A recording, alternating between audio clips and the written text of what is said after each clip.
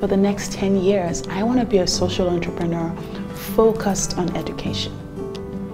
Education not for the upper class 1%, but education at large for everybody. My name is Omoju Miller. I am a PhD student at University of California at Berkeley, and I'm doing my PhD in computer science and education. So I'm originally from Nigeria. I'm a female, and I am in computer science. Those three things hardly ever intersect. So I became an American citizen. I'm going to do everything within my capacity to make sure that this country succeeds. And I truly believe education is one of the surefire ways to move people from poverty into the middle class.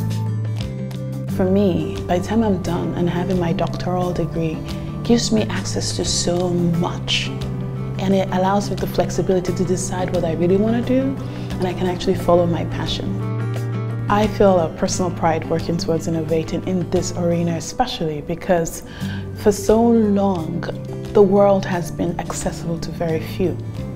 And now, with the widespread adoption of internet services and the low cost of an institution like New Charter University, for the first time ever, we are seeing people participating on a global market and being Nigerian, I go home and I see my neighbor is taking a course on an American university right from Nigeria. So it gives me actually pleasure knowing that I'm using my mental capacities to actually forward that agenda.